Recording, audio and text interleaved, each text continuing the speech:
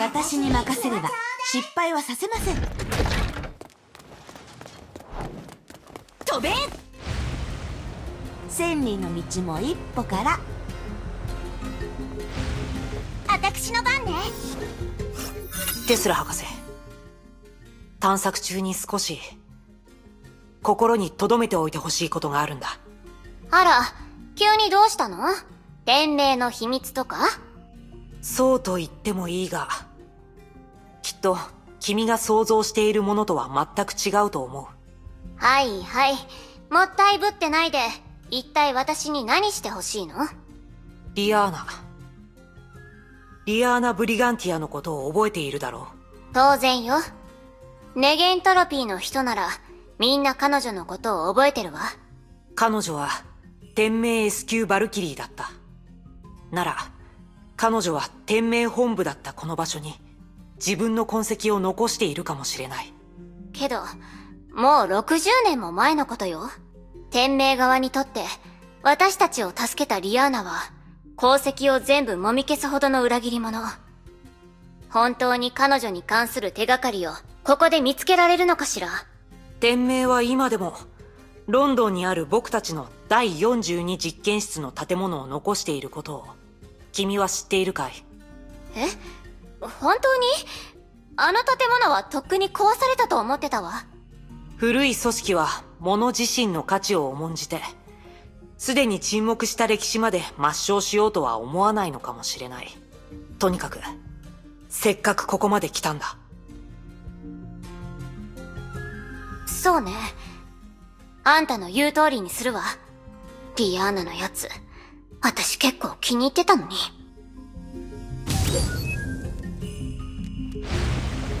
私の番ね。お久しぶりです。キアナ・カスラナさん。うん。あんたたちから逃げた時はこうして肩を並べて共に戦う日が来るなんて想像もしなかった。崩壊と戦うことで私たちの道が再び交わりましたね。そうそう。過去のいざこざは水に流しましょう。未来の天命は私たちのものだからオットーさんも辞任する前に本当の道を見つけたことだし彼の未来はおそらく私たちと交わることはないでしょうね。は？交わることはないってどういう意味？中光さんあなたは一体？あ先に言っておくけどあくまで私の推測よ。理にかなった推測だと思うけどね。結論から話すわオットーさんはこの間の実験で過去に戻る方法を見つけたと私はそう信じてる。過去に戻る？それってタイムトラベルのことかしら？ありえないわ。この地球が正常に回っていることを証明する物理学がある限りタイムトラベルの存在なんてありえない。私たちが捕まえたこの変わったオットーだって本当に500年前のオットー本人なわけがないでしょうん。君の言い分も理解できるよ。ええ。テスラ先輩の言う通りね。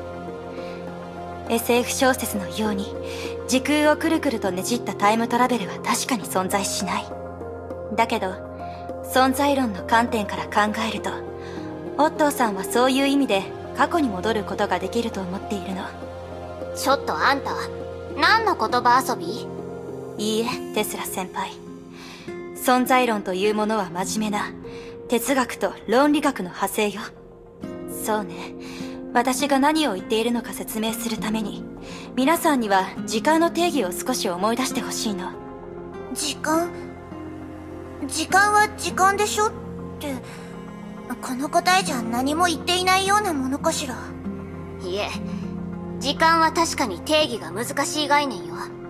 私たちがどういう視点で考えるかで決まるわ本質から言うと私たちは今という時点でしか考えることができない。だから私たち自身にとって時間は順番と因果関係を意味する。でも私たちがもし深く探求しようとして現在が何を意味するのかを考えると悪いけど人類の論理ではそこまでしかたどり着けないわ。そうでもないわよテスラ先輩。先輩も知っているように、私たちの世界は存在の極限というわけではない。この世界の他に、虚数の木と漁師の海が私たちの運命に影響しているの。そうだけど、世界の他に時間になんの？待って、それって世界の外に観測者がいるってこと？それがまさに、私たちの実験で得られた成果の一つよ。ダーニの神の鍵の起動実験から世界の泡を魚数の木に接続する試みまでこの世界の外では時間にも法則が存在する。絶対的な混沌や無秩序に退化することはない。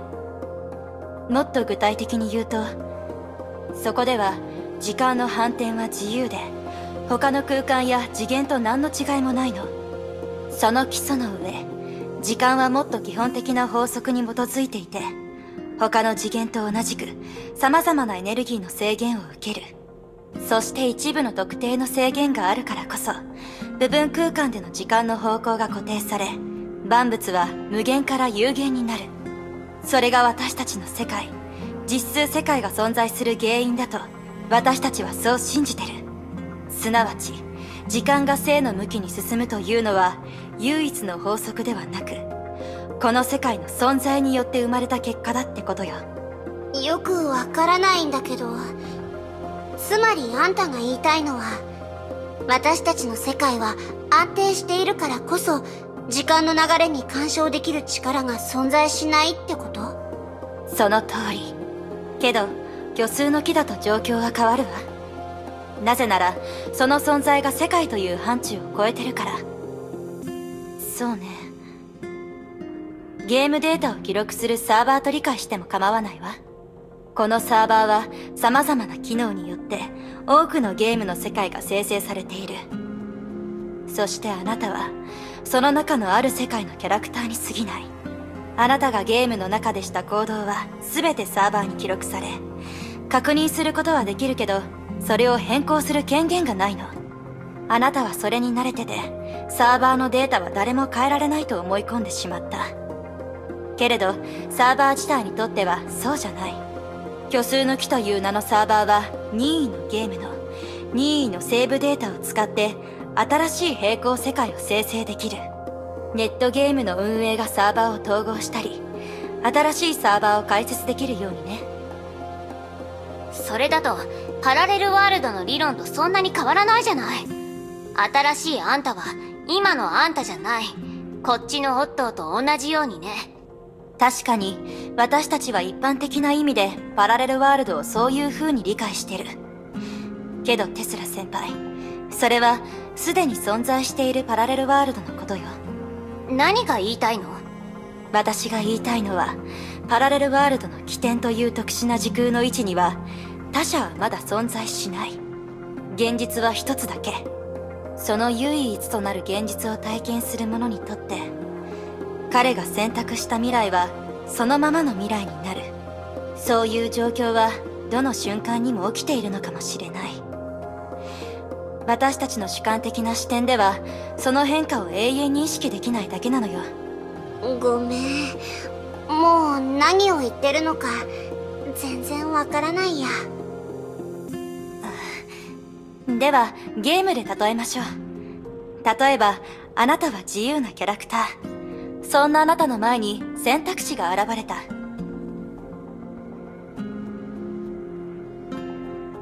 自由なキャラクターとして、その中のどれを選択してもいい。でも外部の情報がない限り、他のバージョンでも同じ選択肢があるかどうかわからないでしょ。そして、今のあなたではないゲームの中で、あなたがどういう選択をするか、あなたは永遠にわからない。わかるのは、あなたはあなた。今は今。選択は選択ということだけ。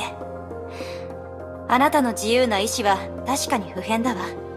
むしろ、あなたというキャラクターにとって、サーバーのバージョンなんて何の意味もない。あなたの視点から見て、そのゲームは後戻りできないし、選択だって一回のみだから。つまり、オットーは虚数の木にある機能を使って人生をやり直したいってこと？やり直すという言い方は不適切。むしろ意味が全然違うと思うけど。そうね。確かにその方が理解しやすいわ。何しろ皆さんにとって大事な事実は動機にある。つまりオットーさんは過去に戻るチャンスを絶対に見逃さないということよ。そういうことか。もし本当に500年の時間があれば僕の身にそういう変化があることもうなずける。変化って何のことよ？もし彼が500年以上という長い年月を生きたとすれば彼の心の執念も僕の10倍いや100倍にもなるだろう。先ほどの僕のように外部の情報によって自分の行為に疑問を感じるとはとても思えない。そうね。あいつより自分勝手な奴なんていない。あ違った。あの5万年も生きてきたケビンもそうだったわね。けどあんたの言う通りね。あんな奴が他人の言葉で変わるなんて想像もできないわ。では彼が現状を変えるという選択をするように刺激を与えたのは彼自身の意志であるはずだ。僕は権力に執着する人間ではないと思う。僕が天命に対抗する革命軍に加入した直接的な原因は彼らが聖女の名を使ったからだ。身勝手は承知の上だが僕は多分もうカレンという名前に失敗を経験させたくないのかもしれない。あんた全部僕の本音さ僕の動機は君たちにとってはおかしいし何の価値もないかもしれないが君たちも知っているようにカレンが死んだ時から僕の自我と呼べる部分も彼女と共に去っていったのだ。だから本音を身勝手な願いを言うと僕だってどの瞬間でも過去に戻ってカレンがまだ生きていた頃僕にまだ自我があった頃に戻りたいと思っているよ。多分あの人も僕以上に思っているのだろうね。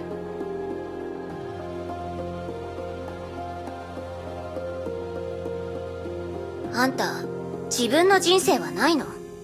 ご立派な未来の天命主教が500年もの間世界の運命に影響を与え続けた人物が歩く影。かわいそうな操り人形だってこと？随分と驚いているようだね。多分君が自由の意志がどれほど稀有で脆いものかを忘れてしまうほど開放的な環境にいたからだと思うよ。僕のような凡人は舞台の上で大げさに見栄を切っても出番が終われば消えてしまう。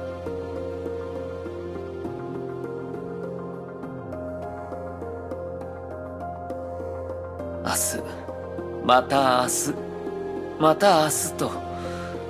こうして時は僕の無機質な顔に後を残しそして今最後の一瞬に昨日という日にたどり着くまで。シェイクスピアの作品に詳しいんですね。異界のオットーさん。ああそうだね。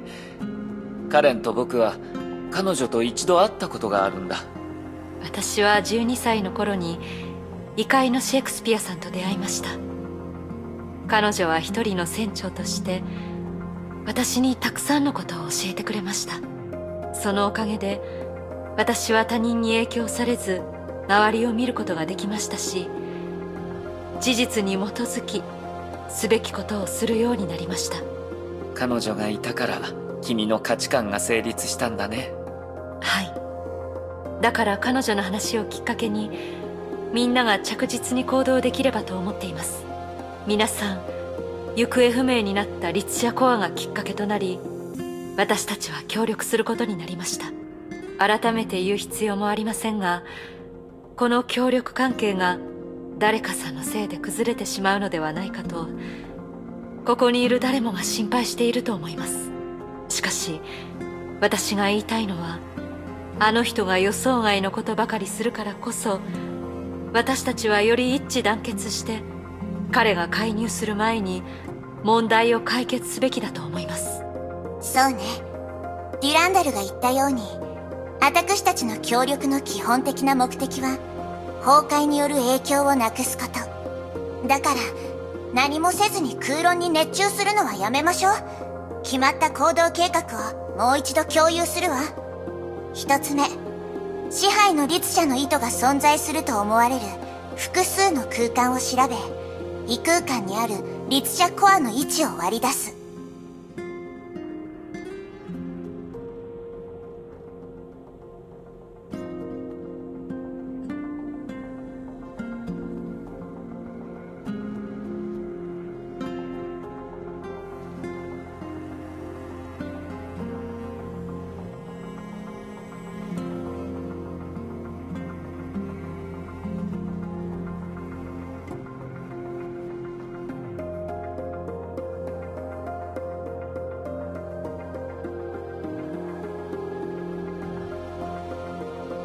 二つ目。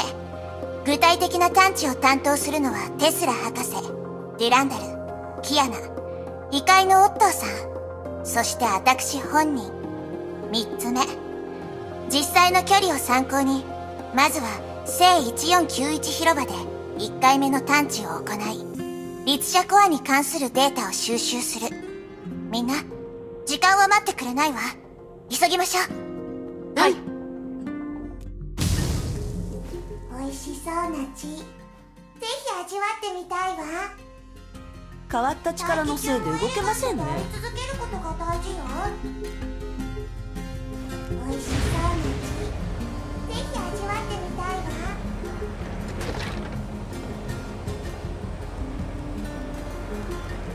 今日の相手は私を失望させないといいですね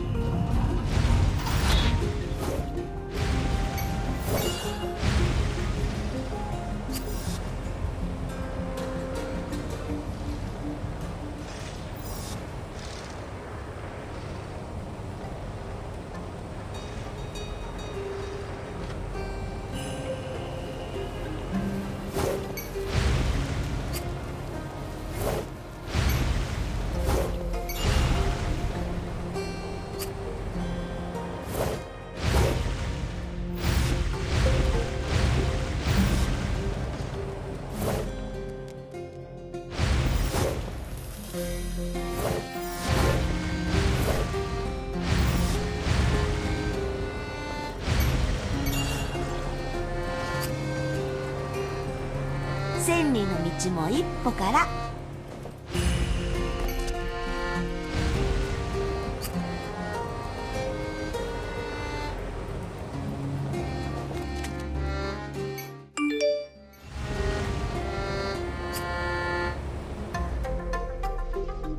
今日の相手は私を失望させないといいですね。